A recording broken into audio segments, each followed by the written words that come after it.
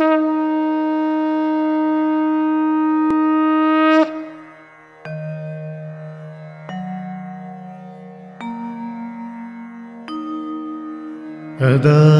यदा हि धर्मस्य ग्लानिर्भवति भारत अभ्युत्थानमधर्मस्य तदात्मानं सृजाम्यहं परित्राणाय साधूनां विनाशाय च दुष्कृतं धर्मसंस्थापनार्थाय सम्भवामि युगे युगे জয় রাম পরম গুরু সদ্গুরু শ্রী শ্রী রাম ঠাকুরের সহস্তে লিখিত পত্রাংশ বেদবাণী থেকে পাঠ বেদবাণী দ্বিতীয় খণ্ডের একশো তিয়াত্তর নম্বর বাণী থেকে পাঠ করছি।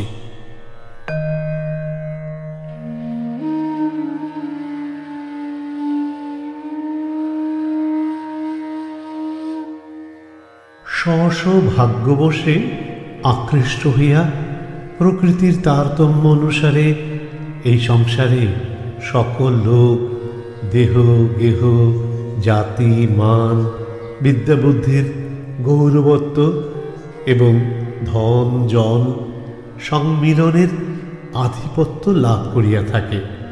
কেহই সেই ভাগ্য সেতু পার হইয়া যাইতে পারে না। সত্য ছাড়া এই ত্রিজগতে আপন কেহ নাই। সেই সত্যকেই ভাগ্য বলিয়া থাকে।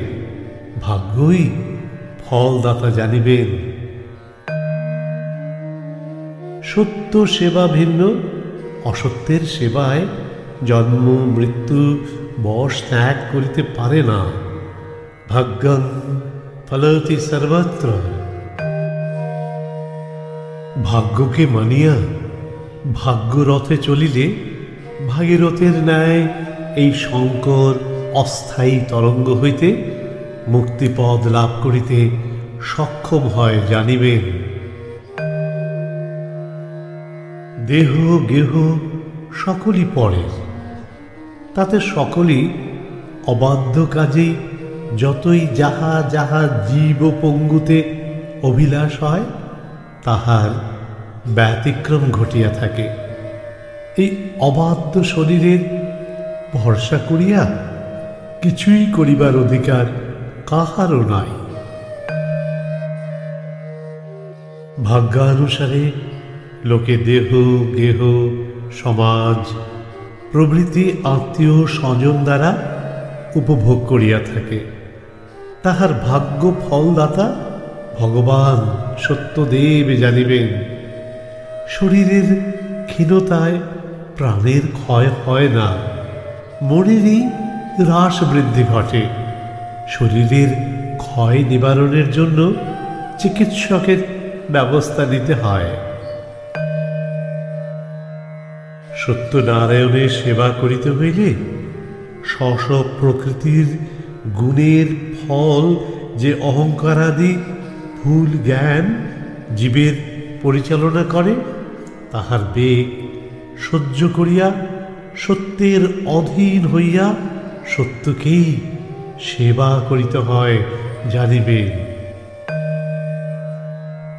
যত রকমের প্রাণী এই মরুভূমে আসে সকলেই স্ব ভাগ্যানুযায়ী সমাজ, জাতি, দেহ, গেহ বিদ্যাবুদ্ধি ধন, জন, বৈভব আদি পাইয়া আবির্ভাব হইয়া থাকে। শত চেষ্টা করিলেও ভাগ্যের অতিরিক্ত কিছুই করিতে কি পাইতে পারে না জানিবেন। জন্ম, মৃত্যু, বিবাহ, প্রভৃতি সকলেই ভবিতব্যের নিবন্ধন দ্বারা পাইয়া থাকে। সত্যকে ভুলিয়াই এই ভবিতব্যের আশ্রয় পাইয়া থাকে।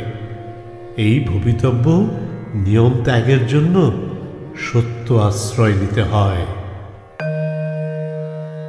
সত্য অংশে পড়িয়া বেশাবরণের নানান বর্ণে রঞ্জিতভাবে আকৃষ্ট হইয়া প্রকৃতির তারতম্যতা লাভে শরীরাদি, সমাজীয় বন্ধু বান্ধবের সংমিলন ঘটিয়া প্রকৃতির গুণের দ্বারা পরিচালিত হইয়া থাকে বলিয়া নানারূপ শান্তি, অশান্তি ভোগ করিয়া সুখ দুঃখের অংশী করে।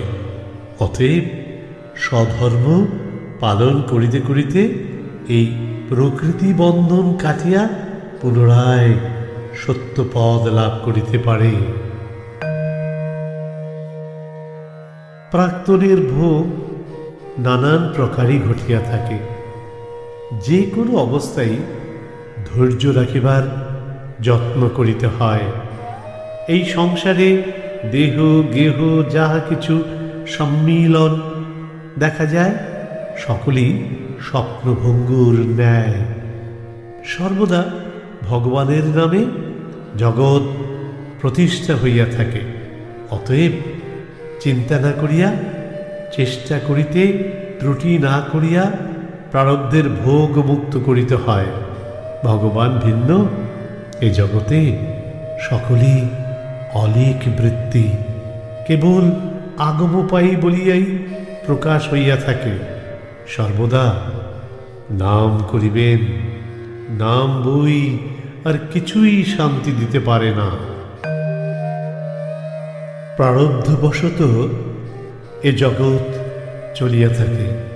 যখন যাহার ভাগ্যে যাহা হয়, তাহা মঙ্গলই হইয়া থাকে।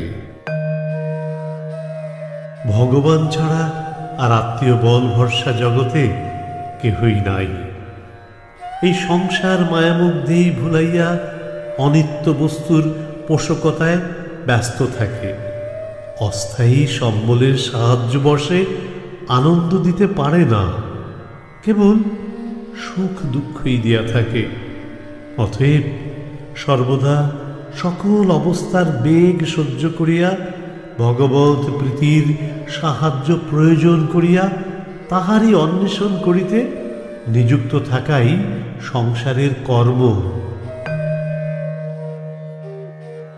ধীরে ধীরে নাম ধরিয়া ডাকিতে যেরকম হয় সেইভাবেই নাম করিতে হয়। এই প্রকার সর্বদা করিতে করিতে ক্রমে প্রেমের অঙ্কুর, ফুল ফুলাদি ভাব সকল স্ফুরণ হয় এবং শরীরেও শান্তি ভোগ হয়। তাড়াতাড়ি করিলে হাঁপাইয়া শরীর কাতর হইয়া পড়ে। নামের ব্যাঘাত হয়। ধীরে ধীরে নাম করিলে শান্তি হইয়া ক্রমে নাম শক্তি বৃদ্ধি হয়। তাহাতে দুর্বল হয় না। ধীরে ধীরে নাম করিলে সংখ্যা পূর্ণ না হইলেও কোনো ক্ষতি হয় না। গুরু কৃপা হয়, সতত নাম হৃদয়ে উদ্গম থাকিলে। এই গুরু কৃপা লাভ করিতে হইলেই ধীরে ধীরে নামাদি ভজন, সাধন, যাহা যে রকমই করিয়া থাকে, তাহাই সেইভাবেই সিদ্ধ সাধ্য হইয়া থাকে। এই জন্যেই শরণাগত জন সর্বধীর ভাবাপন্ন হইয়া গুরুর আদেশ পালনের চেষ্টা করিতে হয়। এই ছাড়া জীবের কোনো শক্তি নাই।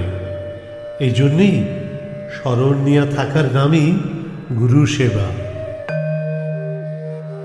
চিন্তা করিবেন না, যাহা ভগবান করেন, ভালোই করেন। অনন্য চেতাই সংসারের আবর্জনা পরিষ্কার করিয়া থাকে। নিশ্চয় করিয়া অভীষ্ট পদের আলোচনা করিবেন। তাহাতেই ভগবান সন্তোষ থাকিবেন। সকল ভার দিয়া থাকিলে কোনো অভাব আসে না। ভগবান কর্তৃত্বাদি কর্মফল সৃজন করেন না। কর্মেরও ভালো মন্দ দেখেন না। ভাবগ্রাহী জনার্দন ভাবই নেন। সুকৃতি কুকৃতির ধার ভগবানের নাই। কেবল ভক্তির অধীন থাকেন। গুরুর কৃপায় রামের কাছে কারও অপরাধ কি পরাধ আসে না। অনর্থক ভ্রান্তিবশত চিন্তা করিতে নাই। জয় রাম।